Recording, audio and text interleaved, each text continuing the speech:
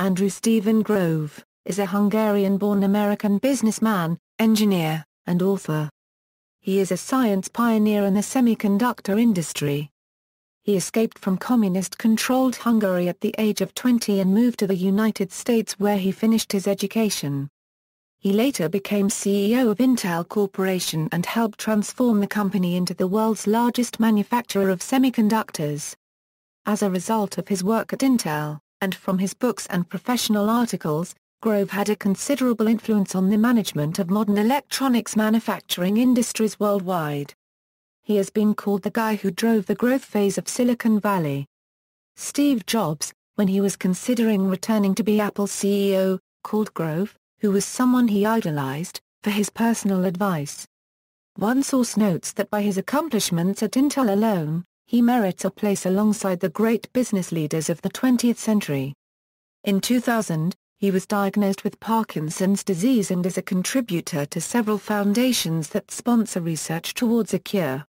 Early life and education, Grove was born Andra Gracubdev, to a middle-class Jewish family in Budapest, Hungary, the son of Maria and George Gracubdev.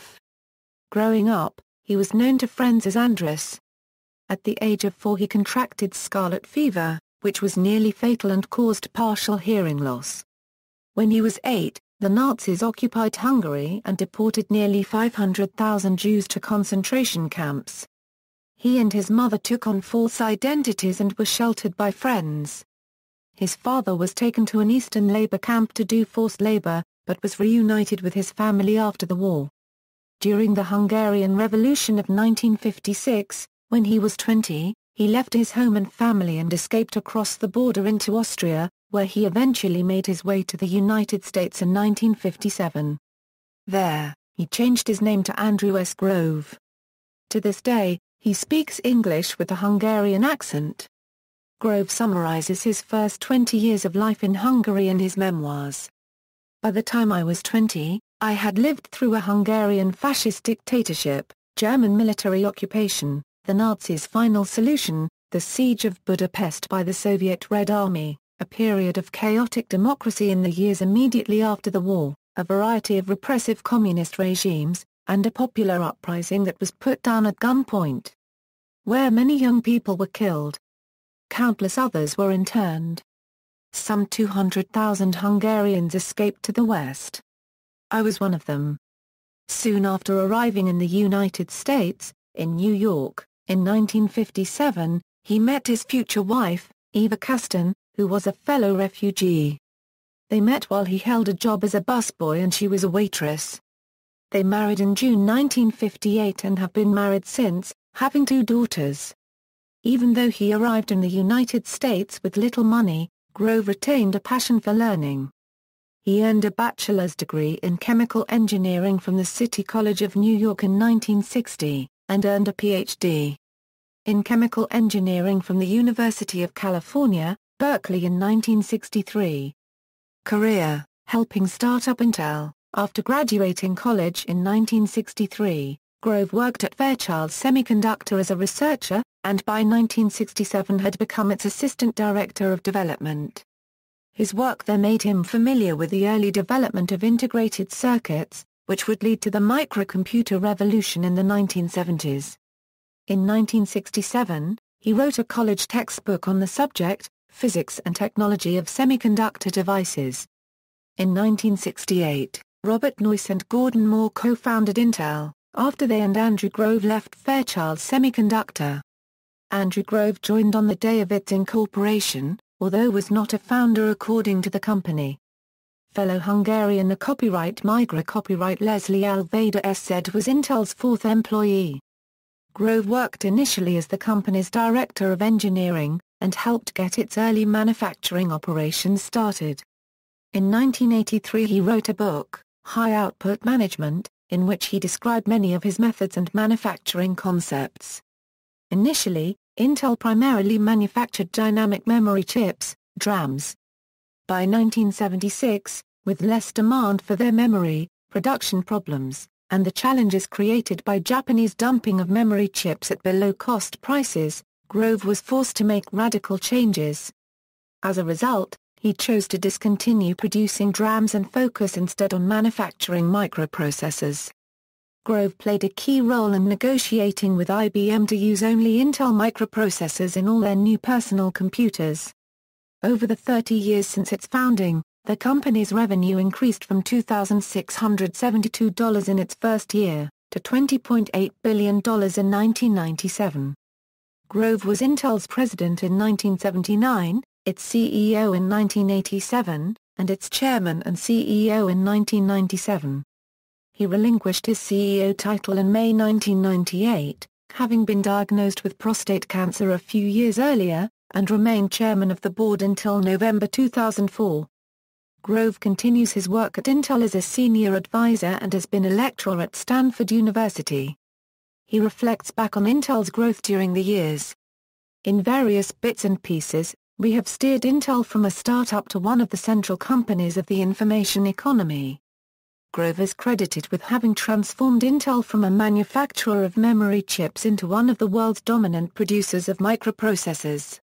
During his tenure as CEO, Grove oversaw a 4,500% increase in Intel's market capitalization from $4 billion to $197 billion, making it the world's seventh largest company, with 64,000 employees. Most of the company's revenues were reinvested in research and development along with building new facilities, in order to produce improved and faster microprocessors. Management methods and style As Director of Operations, manufacturing became Grove's primary focus and his management style relied heavily on his management concepts. As the company expanded and he was appointed chairman, he became more involved in strategic decision-making, including establishing markets for new products, coordinating manufacturing processes, and developing new partnerships with smaller companies. He helped create the Intel Architecture Laboratory in Oregon to ensure that software was developed in time to take advantage of their new microprocessors. Grove states that you are making decisions about what the information technology world will want five years into the future. Grove created a culture within Intel that allowed innovation to flourish. As CEO, he wanted his managers to always encourage experimentation and prepare for changes, making a case for the value of paranoia in business. He became known for his guiding motto, Only the Paranoid Survive, and wrote a management book with the same title. According to Grove, business success contains the seeds of its own destruction, explaining that success breeds complacency. Complacency breeds failure. Only the paranoid survive. As a result, he urges senior executives to allow people to test new techniques, new products, new sales channels, and new customers, to be ready for unexpected shifts in business or technology. Biographer Jeremy Byman observes that Grove was the one person at Intel who refused to let the company rest on its laurels. Grove explains his reasoning. A corporation is a living organism. It has to continue to shed its skin. Methods have to change. Focus has to change. Values have to change. The sum total of those changes is transformation.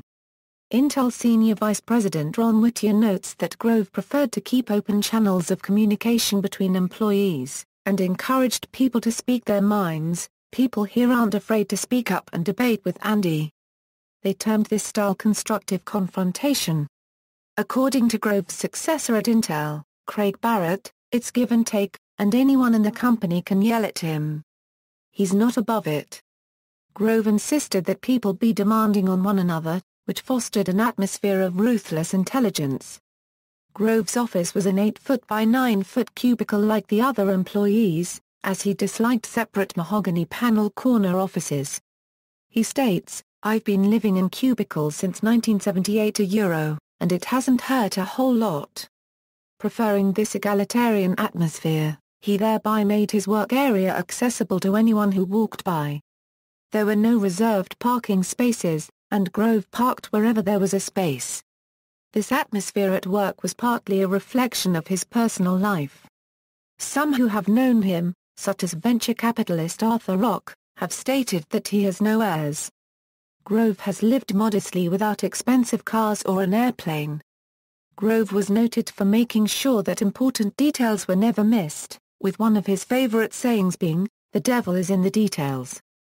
Intel Vice President Dennis Carter states that Andy is very disciplined, precise, and detail-oriented. But at the same time, he has an element of intuition and creativity that is fundamental to Intel's innovation. According to Industry Week magazine, Grove feared that the brilliance that sparked the creation of Intel during its early years, might come to nothing if somebody didn't pay attention to details. Carter recalls that Grove would even correct his spelling errors. When he came to this country from Hungary in 1956, he didn't speak English. Yet I learned spelling from him. Not only does he have the instincts of a teacher, but he also has a great deal of patience. Other accomplishments, Grove is also a noted author and scientist. His first book on semiconductors, Physics and Technology of Semiconductor Devices, has been used by leading universities. Another book on business operation methods, High Output Management, has been translated into 11 languages. He has also written over 40 technical papers and holds several patents on semiconductor devices. Grove received honorary degrees from the City College of New York. Worcester Polytechnic Institute, and Harvard University. He has also taught graduate computer physics courses at the University of California, Berkeley, and at Stanford University Graduate School of Business. In 2004 the Wharton School of Business recognized him as the most influential business person of the last 25 years. In an interview in Esquire magazine in 2000, Grove encouraged America to be vigilant as a nation to have tolerance for difference, a tolerance for new people. He pointed out that immigration and immigrants are what made America what it is. Honors and Awards, the first annual Heinz Award in Technology, the Economy and Employment. Grove received the award in 1995, and he was honored by the Foundation for representing a story as old as America, the story of a young immigrant rising to great success. The donors of the award added that Grove has played perhaps the single most pivotal role in the development and popularization of the 20th century's most remarkable innovation, the personal computer. On August 25, 2009, California Governor Arnold Schwarzenegger announced that Grove would be one of 13 California Hall of Fame inductees in the California Museum's year-long exhibit. The induction ceremony was on December 1, 2009 in Sacramento. Strategic Management Society's Lifetime Achievement Award, IEEE Medal of Honor, Time Magazine's Man of the Year, 1997 Technology Leader of the Year, IndustryWeek.com, December 15, 1997, Chief Executive CEO of the Year, Medal of Achievement from the American Electronics Association, IEEE Engineering Leadership Recognition Award, Franklin Institute Certificate of Merit, in 2006 he made a 26 million US dollars donation to City College of New York, the largest donation ever made to that school. Books written by Andrew Grove, A.S. Grove. Physics and Technology of Semiconductor Devices. Wiley. ISBN A0-471-32998-3 A.S. Grove. One-on-One with Andy Grove. Penguin Putnam. ISBN A0-14-010935-8 A.S. Grove. High Output Management. Random House. ISBN A0-679-76288-4 A.S. Grove. Only the Paranoid Survive. Doubleday. ISBN A0-385-48258-2 A.S. Grove. Swimming Across, a Memoir. ISBN A0-446-67970-4, Robert Burgelman and A.S. Grove. Strategy is Destiny, How Strategy Making Shapes a Company's Future. ISBN A0-684-85554-2, Robert A. Burgelman, Andrew S. Grove and Philippe E. Meza. Strategic Dynamics, Concepts and Cases. McGraw-Hill Irwin. ISBN A0-07-312265-3 References. Further reading, Tim Jackson. Inside Intel, Andy Grove and the Rise of the World's Most Powerful Chip Company. Plume. ISBN A0-452-27643-8. Richard Tedlow. Andy Grove. Penguin. ISBN A978-1-59184-139-5. External links, biography from Intel.com, biography at IEEE, book homepages, Swimming Across, High Output Management, Only the Paranoid Survive, The Life and Times of an American, Time, Man of the Year, Andy Grove's Ambitious Conversions Goals at Plug-in 2008. Andrew Grove, High Output Management. Appearances on C-SPAN, works by or about Andrew S. Grove in libraries, Andrew S. Grove collected news and commentary at the New York Times.